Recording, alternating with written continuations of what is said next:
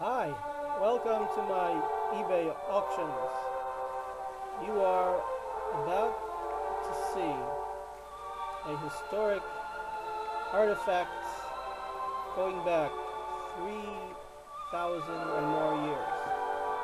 I am right now standing in the very spot where the tabernacle of Shiloh existed for 369 years.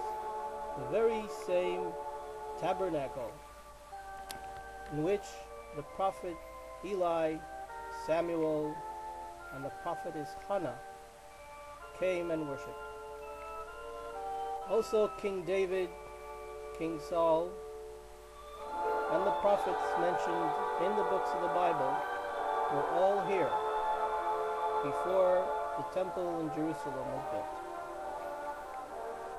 Right now, you have the honor and privilege of purchasing 10 clay remnants, 10 little pieces of clay that were used as a vessel to bring the sacrifices here at Shiloh.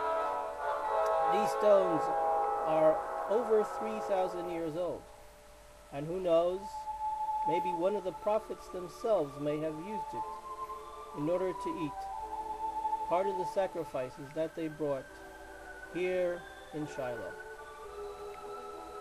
This place was holy to the Jewish people, to the tribes of Israel. This was the place where God and man communicated, where the divine presence appeared to all those who came three times a year during the Jewish holidays. What I'm about to show you has not been touched for 3,000 years. If you take a look closely, you will find clay pieces of potteries that were brought into the area by the pilgrims in order to offer sacrifices. Once they ate from these vessels, they could not remove them from the area since they became holy. So the only option for them was to leave them here or to break them, because removing them from this place was forbidden.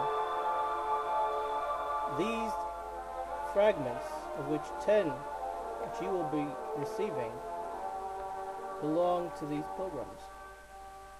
Many of them were also prophets and sages.